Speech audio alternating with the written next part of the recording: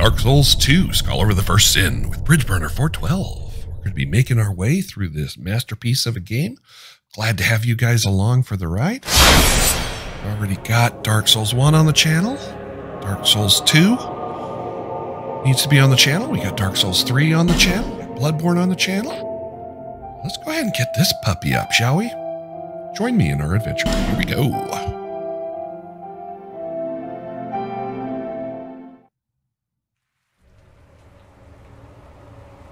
Perhaps you've seen it. Maybe in a dream. A murky, forgotten land.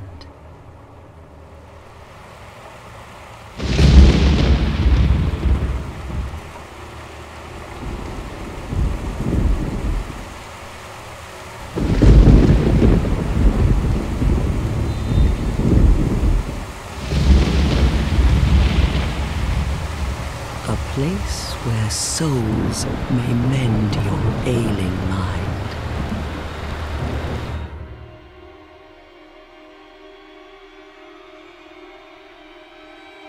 You will lose everything once branded. The symbol of the curse. An augur of darkness. Your past, your future, your very light.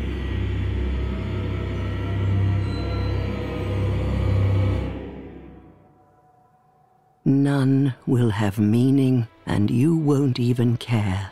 By then, you'll be something other than human. A thing that feeds on souls, a hollow.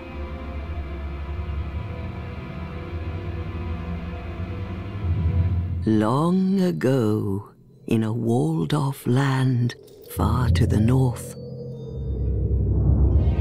a great king built a great kingdom. I believe they called it Drangleic. Perhaps you're familiar. No, how could you be?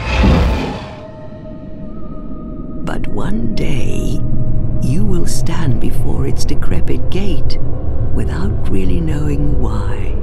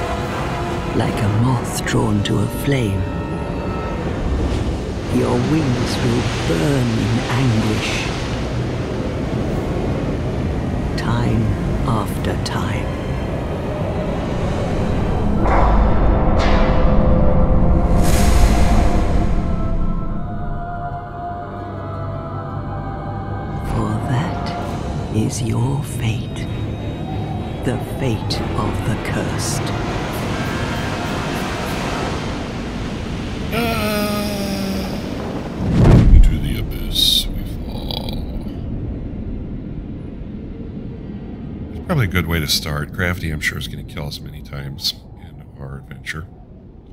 Uh, and I should probably state at the outset here that uh, I'm not a great player by any stretch. I am a competent player. Um, so there will be deaths.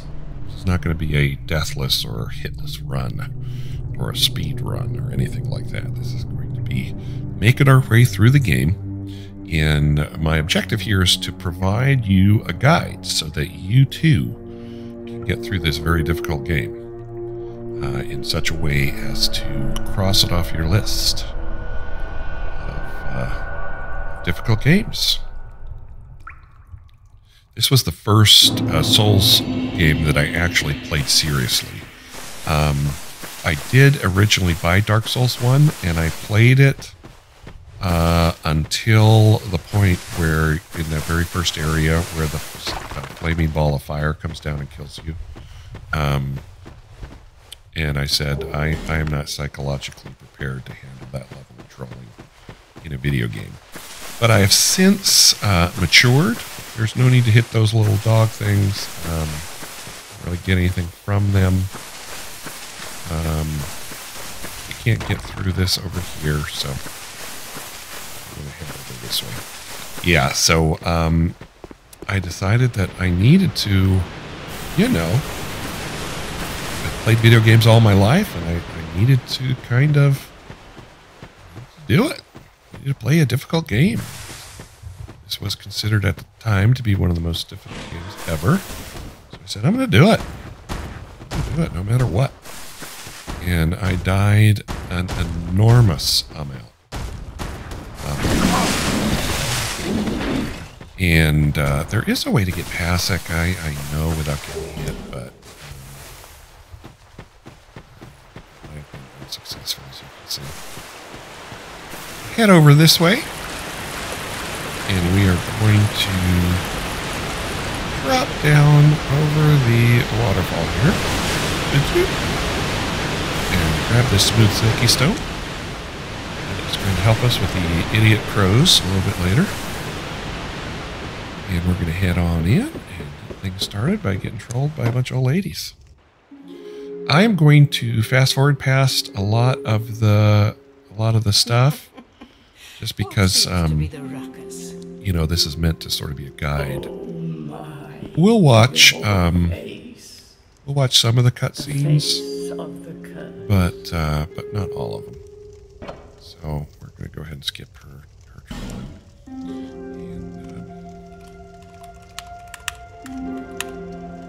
call ourselves Bridge Burner. Yes, that is my name. At least you know your own. Right, yeah, stop yelling at me. All right, so we're going to go with a warrior. Uh, you can look at the other classes that are here. Warrior is going to start us out with the stats that help us the most early on. For our build, we're going to kind of be working towards a dex build eventually, but um, but to start out, we're going to start with the warrior. Uh, for our gift, we're going to go with the seed of a tree of giants.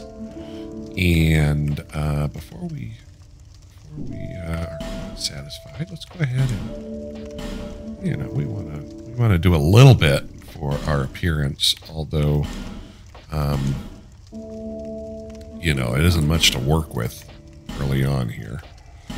Um, that dirty hair, we'll go with the dirty blonde hair. Um, I do want to change the. See. Go with like a like a light brown. Eyebrows should also be the same color. Light. Eye color will mix up a little bit. Um, our eyes are. Ooh, that's kind of sharp looking.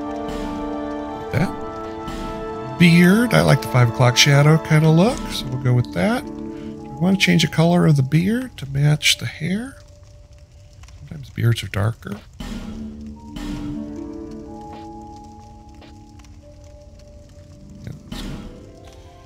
And uh, we don't need to do any tats or anything like that. Um, so I think we're ready to go. Just my true self? Sure. All people come here Yeah, for for the the same reason, yes. All right, now, when you start the game, uh, the first thing you want to do is head up the stairs. Grab your uh, effigy here. Uh, those are what put you back in your human form. Like we spent some time getting our look and what's going to happen is we're going to die and immediately turn zombie looking thing. Which is kind of a thing in Souls games. I don't know why it is a thing in Souls games, but you spend your time making yourself and then you, you know, you die and it looks like garbage. So that'll happen.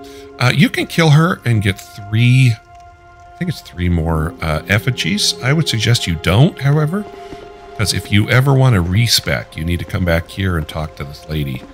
And um, if you kill that woman, then you don't get to come back and respec.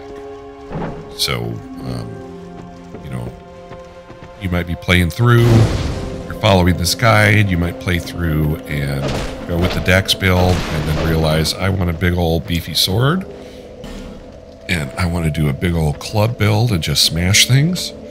Uh, you can definitely do that uh, if. All right, so we're eventually going to light all of these things. You could run straight on through over there um, and start the game proper. This does give you a few souls. Uh, these things tell you about the controls of the game, so it's like the tutorial area.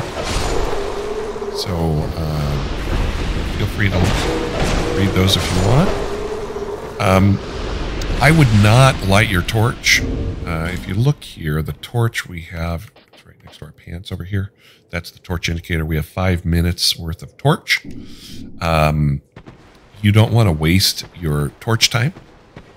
Uh, you're going to need it at particular points in the game, and this is one of the points in the game that you need it. So just go ahead and uh, make your way through in the dark. Uh, that guy you're not going to be killing for quite some time, so Ahead and give the backstab mechanic here. It's one of my favorite animations in the game. It's good stuff. Different weapons have different uh, backstab animations. Get on up here, grab the dagger. Get in here. There's a guy with the bow. He's to go bow cheese on you. We are the only ones who know bow cheese. And we will be doing our fair bow cheesing.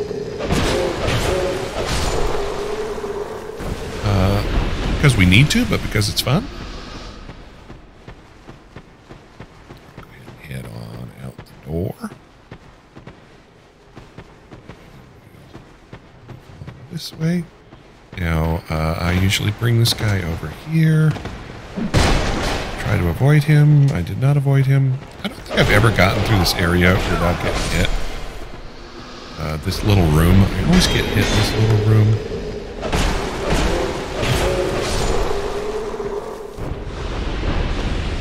Mm-hmm. A little pluckety plunk of damage there.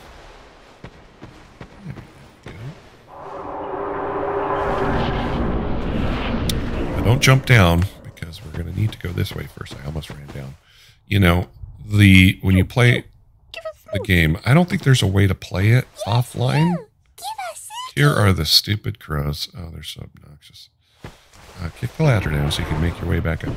What you do here with these stupid crows is you go into their nest, and there, you know, there's people. Out, how can you? How can you get mad at the crows? Because they're dumb. There's they're dumb. There's nothing heroic about it. But leave the uh, leave the smooth and silky stone there, and they'll say, "Oh, yay! It's a silky smooth stone." Titanite shard, boom! That's pretty good. It gives you something random. You can get like this high-powered axe, I think, too, right from the beginning, but it's extremely rare. But Titanite shard is that's pretty good stuff. Feeling good about the run already. Titanite shard. Titanite shards are upgrade materials for your weapon. So yeah, it's good to get that.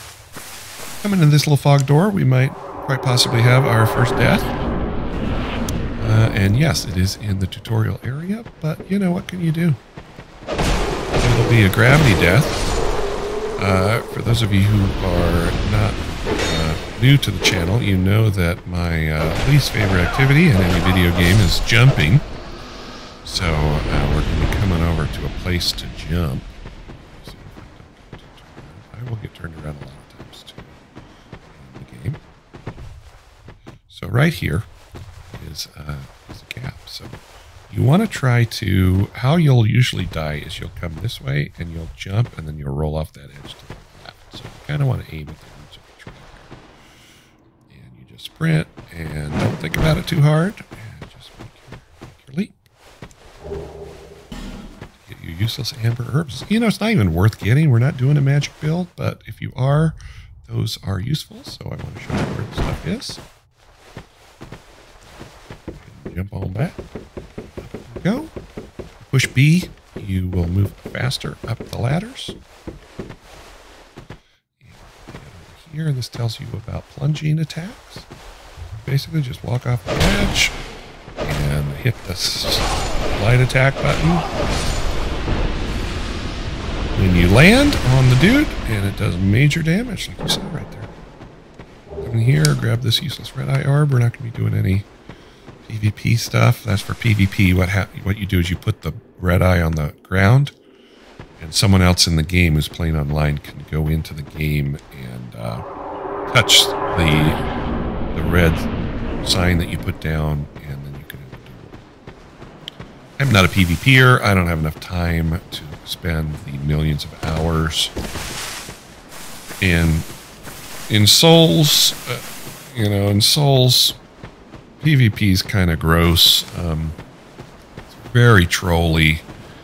People will they'll make builds just to ruin your gear um, that you then have to repair just to be obnoxious.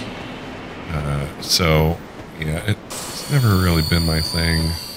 Never probably didn't need to use that heal, but um, drop it down here in a second. There's the magic magic tones. Majula Melody. We're in our hub. This is the hub for the game, Majula. Um, so you're going to jump down here. There's nothing on this ledge. This ledge and drop down and turn around behind you. And you're going to get a Morning Star and a Cleric's Chime.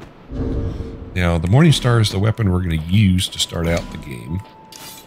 Um, because it hits pretty hard. And that is good. We're eventually, pretty early on, we're going to get a longsword. Fire longsword we use a lot in our playthrough. It's, you know, it's awesome. It's great weapon, very versatile. It's great move set. Can't go wrong with the uh, fire longsword. So light the bonfire, and then we're going to kind of go around in a circle and collect all the stuff.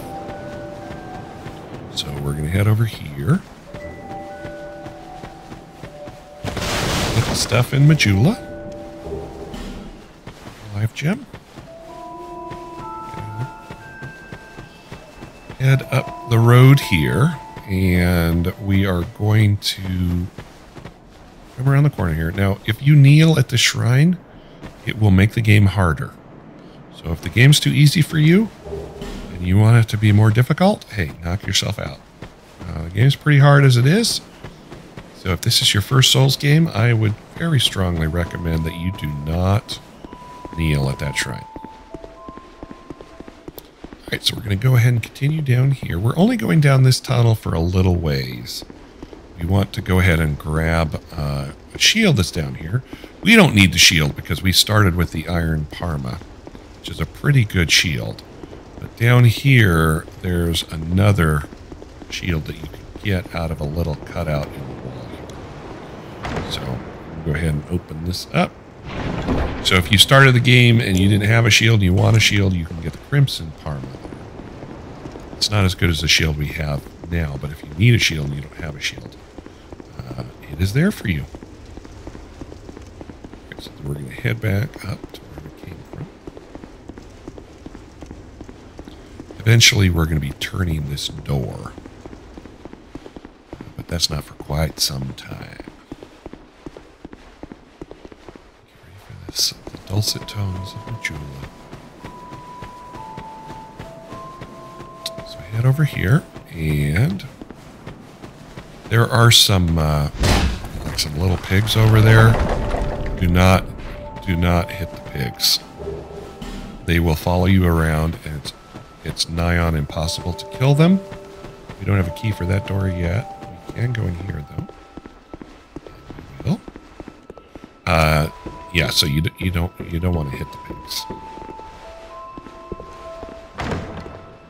If you do, for some reason, accidentally hit the pigs, just run back to the bonfire and rest, and uh, you should be fine. Here's Maughlin. I don't know if we have to talk to him, but we'll, we'll talk to him. We're not going to buy anything from him. I do hope I see you again. Probably will, but I'm not going to ever buy anything head on over to Lenigrast and talk to him. He's going to complain that this door is locked. So we've got to uh, got to find a key. Finding key for him to open up his little blacksmith shop? That's how we will. Um, uh, that's how we will uh, upgrade our materials. You come up here and talk to this dude, and he will tell you a lot of stuff. Um, if you're interested in the lore and all that stuff. But try to exhaust his dialogue, and he will ask you if you want to join his covenant. Oops. And I do that all the time when I speak through his dialogue. So you want to join because he will give you a ring. So, um, and you can learn his gesture. Welcome, yay. May you find peace on your journey. May I, may I find peace? I sure was going was off that. That would have been the most embarrassing death. Might as well go put that ring on now. We get four ring slots in Dark Souls 3, which is cool. And now, um, did we get any souls along our journey? We did. Do not eat the Estus Flask Shard. That gives us our healing items, but you can eat the other souls.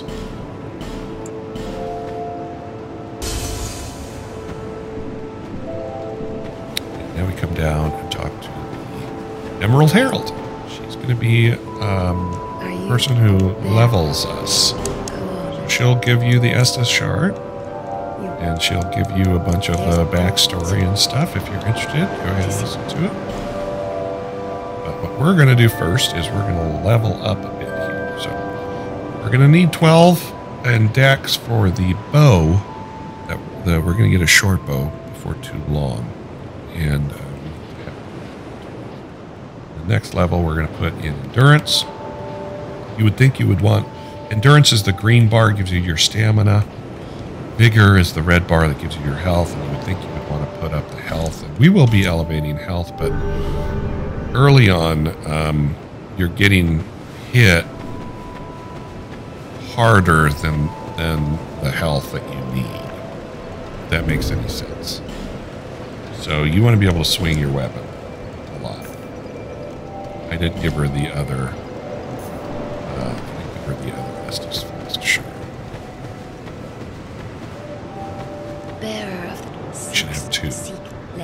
Yes, yes. All right, and now we will have two. So our Estus Flask Shard is strengthened. So we've done what we can here in Majula. So now we are ready to kind of get into the game proper. So what you do is you head this direction. People kill themselves here just to have their blood stains. These are like when someone dies. Um, well, maybe he was like dueling or something. I don't know, but um, he died there. Sometimes people will like intentionally poison themselves just to get a blood stain. It's bizarre. There's all kinds of bizarre people in the Dark Souls community. Alright, so we're going to go ahead and open the big old gate. And we are making our way to kind of the first first zone. So excited.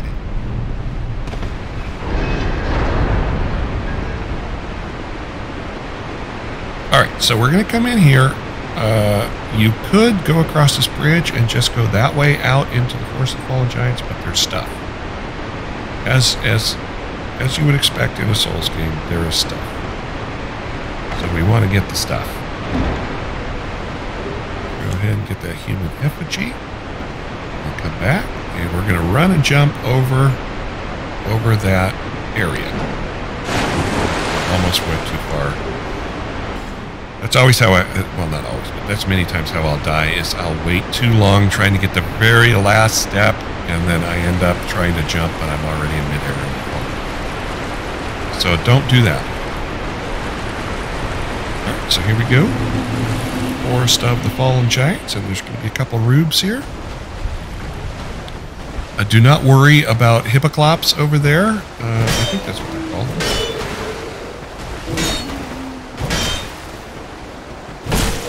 And um, you you can kill him, but it will take forever. There goes Rosie. Just head on over.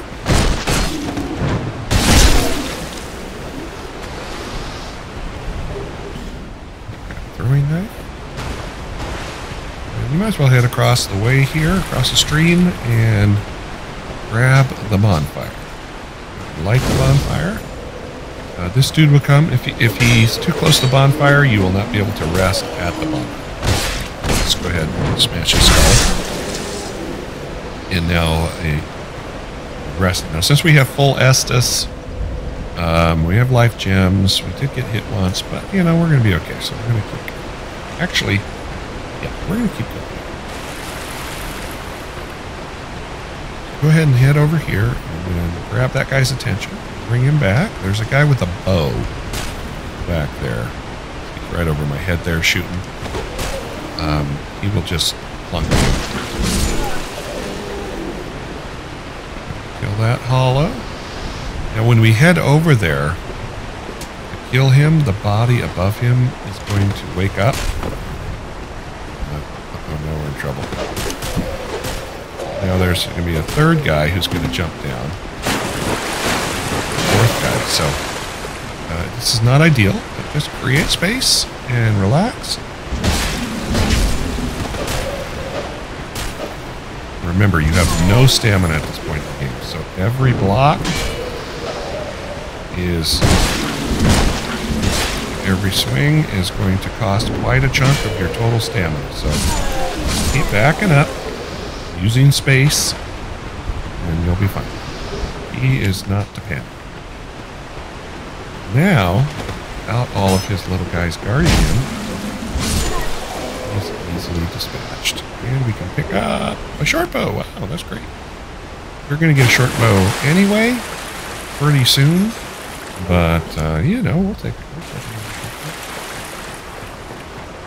So the guy with the axe actually jumps down from up there. So, um, since we were a little bit uh, in mayhem zone right there, he jumped down early and let us have it. All right, so we're going to head up here and we're going to grab this and kill this guy. But don't advance any farther into this area. We will be killing all of those all of those hollows don't have shinies. We'll be uh, getting up when we get close to them. But we want to go up here first. So there's going to be guys going to go down. And we don't even have to get down. Kill. And he's going to be in our way here. We are going to want to jump. I want to make this jump to get that item right over there. So just space for yourself. Run and we probably shouldn't have made that jump because we did run into the rock. But um, I guess, took some mercy on us, which that's the, that never happens. So I think the run is starting well. Doggo is excited over here. The dogs just had dinner, so after they have dinner, they like to play because they're very excited for some reason.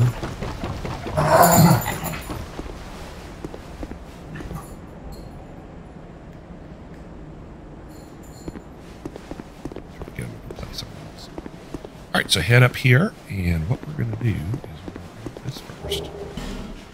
Get all the souls. Down a little bit diagonal there so you don't fall. Now we want to hit this guy, but we want to hit him sideways because if you hit him from the back, he will fall down. He might fall down anyway. But um, you notice it takes three hits, so if you if you come around the back and hit him, he will fall down there, and then he will be down there throwing bombs at you for the whole time that you are uh, trying to um, kill all those things.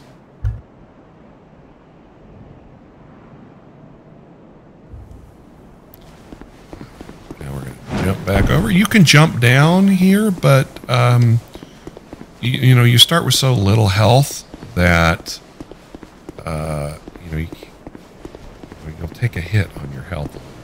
You don't want that. So just head back over and climb down the ladder. Um, you can't really, like, there are people who, of course, who speed run the game, but um, you know, if this is your first time,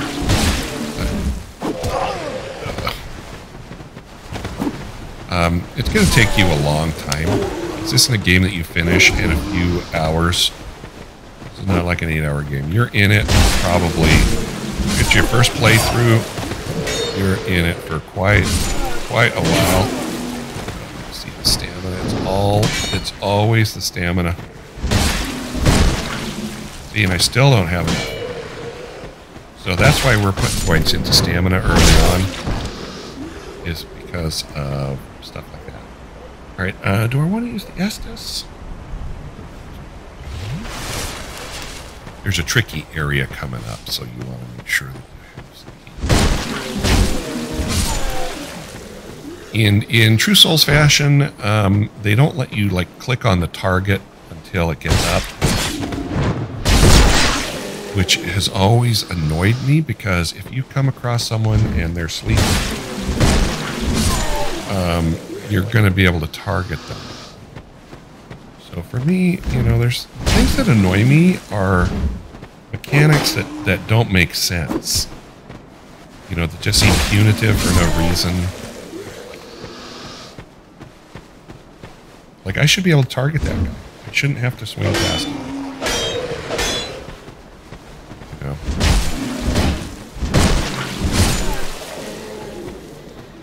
But, you know, what can you do? I do have to say, though, that um, the difference between this game and Dark Souls 1, one of the reasons I, I, I know it's going to sound heretical to many people, is that this game, uh, this game is not nearly as trolly as Dark Souls 1 is. There is so much cheatery nonsense in Dark Souls 1. Uh, so our first episode is going to go a little bit longer. Normally there'll be about a half hour, but since it's our first episode, we want to get well and truly started. So go ahead and head in here. And then what I do is I just jump back. Be a guy with an axe. I'm just going to take care of him. Just do it to it. Then I come past this doorway and I jump back in. And these two rubes jump out. That gives you enough time to get in here, get your roll on,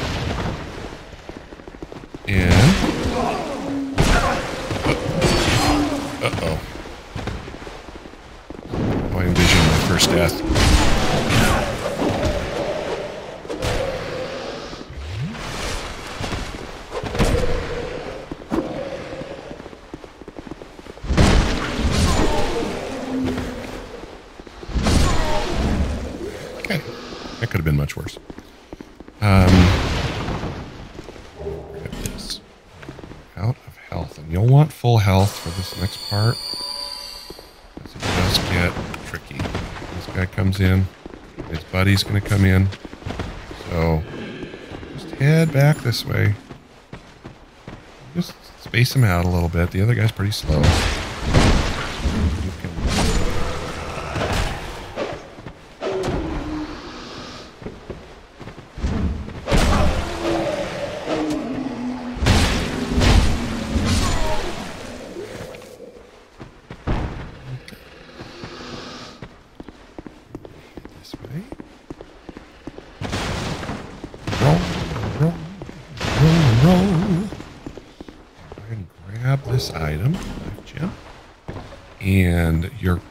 to want to sort of sprint up to here, juke the bow, see if you can hit this guy, and then roll immediately.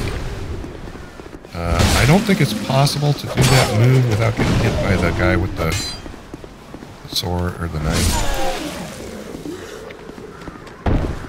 This guy is so annoying. You don't want to die, so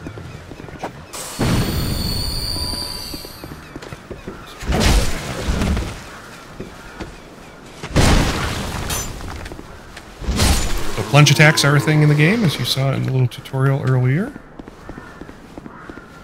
You know, there's a guy shooting arrows at us. So you just want to kind of hustle over and grab the buckler. And that's the guy who's hitting us with the arrows. He is going to be dealt with uh, soon enough. But for now, we're just going to head on up the ladder. A guy who's going to try to try to zerg us from around the corner here. Much of a zerg.